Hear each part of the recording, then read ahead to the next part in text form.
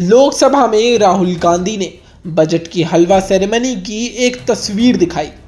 उन्होंने इस तस्वीर दिखाते हुए कहा कि इसमें आपको एक भी ओबीसी दलित या जनजाति या फिर अल्पसंख्यक अधिकारी नहीं दिखेगा।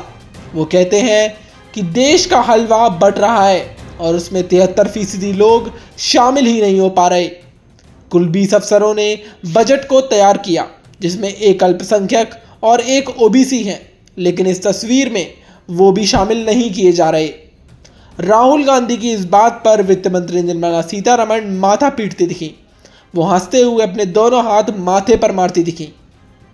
इस पर राहुल गांधी ने कहा कि यह हंसने का मामला नहीं है। देश के ओबीसी दलित और आदिवासी से जुड़ा मामला है। राहुल गांधी ने कहा कि देश के बजट का हलवा सेरेमनी में सिर्फ़ दो से तीन फ़ीसदी लोग ही दिखते हैं। और यह हलवा इतने ही लोगों में बढ़ जाया करता है। राहुल गांधी ने कहा यह हंसने का विषय मुझे तो नहीं मालूम पड़ता। कमाल की बात है, हम तो जाति जनगणना की बात कर रहे हैं। इससे देश बदल जाएगा।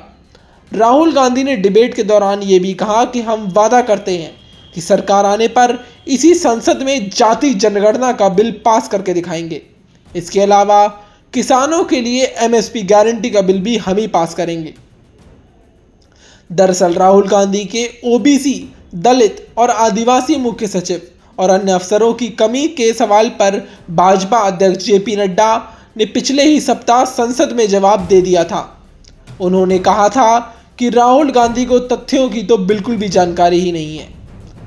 आज जो लोग मुख्य सचिव जैसे अहदों पर आकर बैठे हैं, वो कार्यकाल में ही नौकरी पर आए थे।